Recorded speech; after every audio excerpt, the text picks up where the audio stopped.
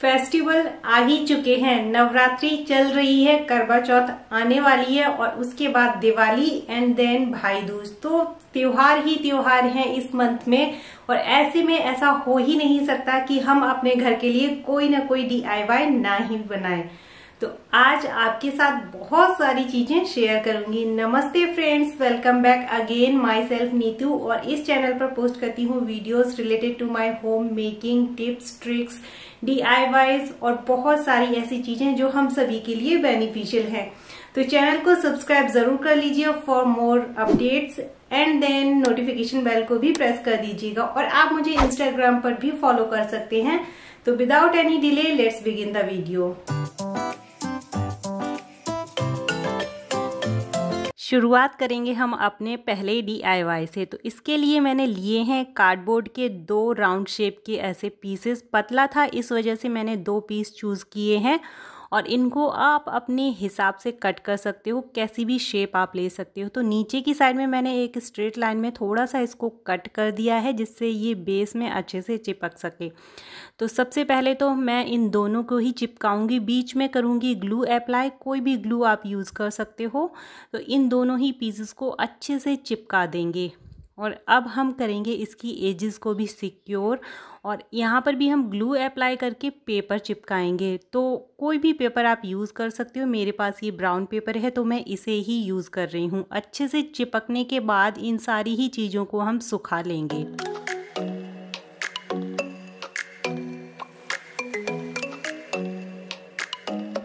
तो सारी ही चीज़ें सूख चुकी हैं और अब लिया है मैंने ऐसा एक लकड़ी का टुकड़ा। अगर आपके पास ये नहीं है तो आप कार्डबोर्ड से कट करके भी ऐसा पीस बना सकते हो।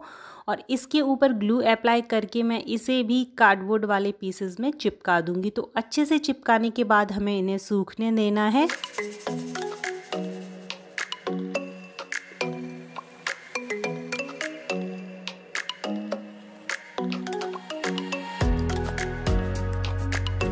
अब सारी ही चीज़ें बहुत अच्छे से सूख गई हैं और अब मैं कर रही हूँ इसके ऊपर जैसो का एक कोट अप्लाई पूरे ही पीस के ऊपर मैं अप्लाई करूँगी। कोई भी जगह छोड़नी नहीं है आगे और पीछे दोनों ही साइड में, जिससे बाद में इसका लुक काफ़ी नीट एंड क्लीन आएगा। जैसो सूख चुका है और उसके बाद मैंने इसके ऊपर पेंसिल से कुछ डिज़ाइन क्रिएट करी है। सिंपल सी लाइनिंग ही बस बनाई है और उसके ऊपर हमें बनाना है लिपन इंस्पायर्ड आर्ट वर्क तो इसके लिए सबसे पहले मैंने ग्लू अप्लाई किया और उसके ऊपर मैं क्ले से बनाई हुई ये डोरियाँ लगा दूँगी। तो बिल्कुल ऐसे ही आपको बनाते जाना है। ग्लू लगाइए उसके ऊपर से क्ले की पतली पतली सी डोरियाँ बनाकर चिपका दीजिए। कोई भी क्ले आप यूज़ कर सकते हैं, चाहे तो आप मोल्डेड क्ले ले लीजिए या फिर एयर ड्राई क्ले। और अब अगेन मैं थोड़ा सा ग्लू लगाऊँगी और उसके ऊपर क्ले की बनाई हुई ये छोटी छोटी सी गोलियाँ चिपकाती जाऊँगी।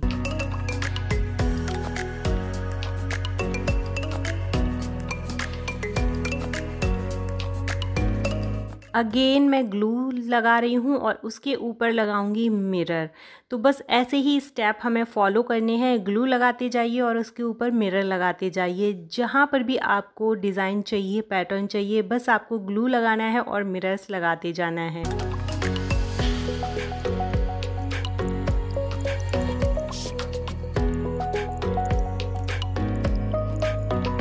किसी भी शेप के, किसी भी साइज़ के मिरर आप लगाते जाइए और लास्ट में आपको बहुत ही अमेजिंग सा रिज़ल्ट मिलेगा।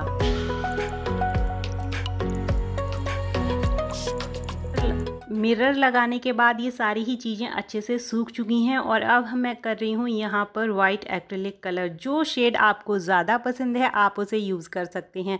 तो मिरर्स के ऊपर, नीचे, आसपास कोई भी जगह हमें छोड़नी नहीं है। पूरे में ही हमें कलर अप्लाई कर देना है।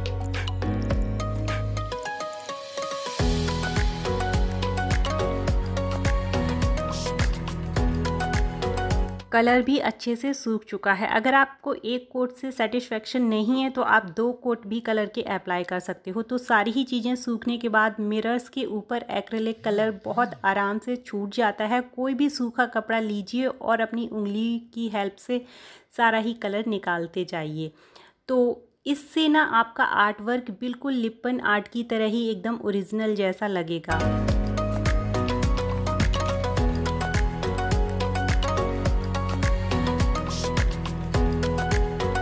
अगर आपको ये वाली प्रोसेस टफ़ लगती है तो आप पहले कलर कर लीजिए और बाद में मिरर्स को स्टिक करिएगा। इससे भी आपका आर्ट वर्क बहुत अमेजिंग लगेगा। तो सारी ही चीज़ें कंप्लीट हो चुकी हैं और अब ये तैयार है आपके घर में कहीं पे भी रखने के लिए।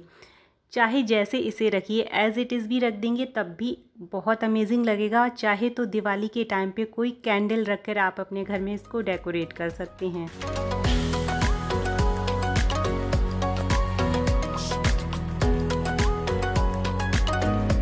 देखते हैं हमारा दूसरा डीआईवाई उसके लिए मैंने लिए हैं ये दो पुराने ऐसे मेरे वॉल आर्ट के एक झरोके थे।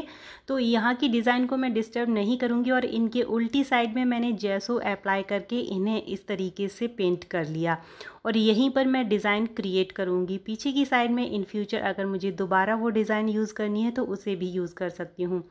तो सबसे पहले तो पेंसिल की हेल्प से मैं इसके ऊपर कुछ पैटर्न ड्रॉ कर लूँगी। जो भी पैटर्न आपको चाहिए, जो भी लाइनिंग आपको चाहिए, वो आप बना सकते हो और ऐसे कटआउट्स आपको ऑनलाइन या ऑफलाइन भी मिल जाएँगे।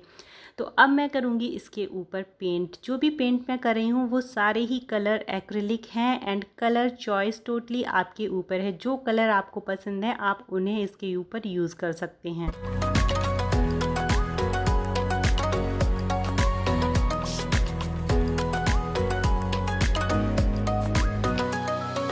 अब हम इसे रख देंगे सूखने के लिए और पेपर पे मैंने कमल के फूल की ड्राइंग बनाकर उसे ऐसे कट कर लिया और हमारा एक अच्छा सा स्टेंसिल तैयार हो गया है। तो सूखने के बाद हम इसके ऊपर इसे रख के पेंसिल से इस चीज़ को ड्रॉ कर लेंगे और उसके बाद करेंगे इसमें हम कलर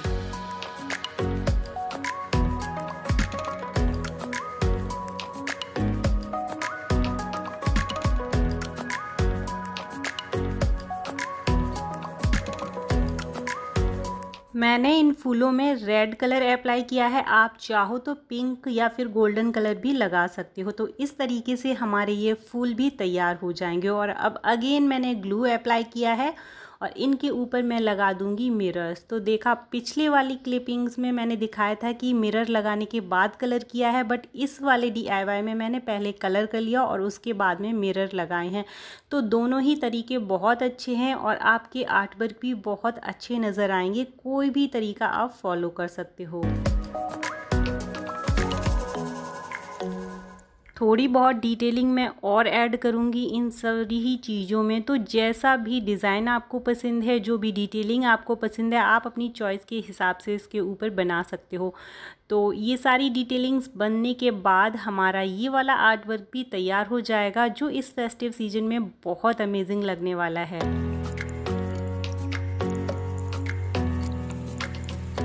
तो देखा आपने कि कैसे मैंने अपने पुराने वॉल आर्ट्स को ही रीपेंट करके एक नया लुक दे दिया। कोई नहीं बता पाएगा कि मैंने ये पुराने ही यूज़ करे हैं।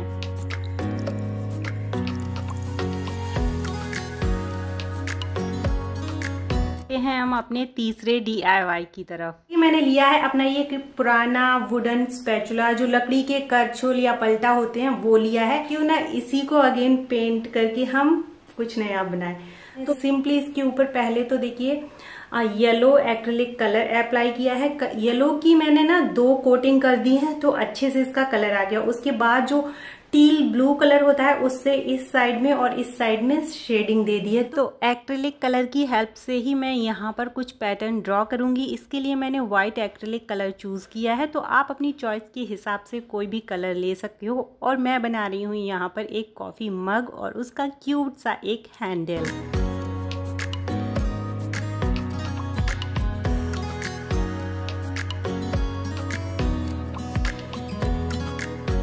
थ्री आउटलाइनर की हेल्प से कुछ डिटेलिंग ऐड कर दूँगी, जिससे इसमें एक और ब्यूटी ऐड हो जाएगी।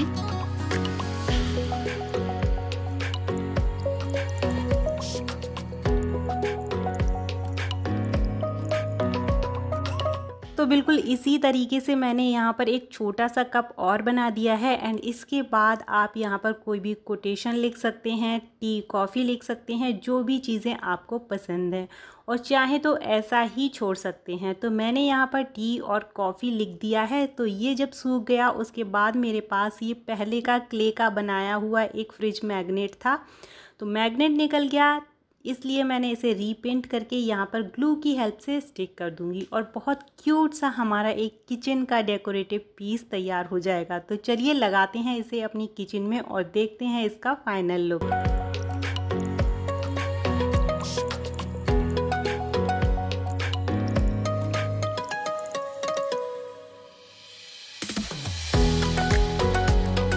तो ये थे सारे ही डी जिन्हें मैंने बहुत कम टाइम में और लिमिटेड चीज़ों के साथ में तैयार किया है। उम्मीद करती हूँ आपको बहुत अच्छे लगे होंगे और डेफिनेटली इन सारे ही आइडियाज़ को आप ट्राई करिएगा।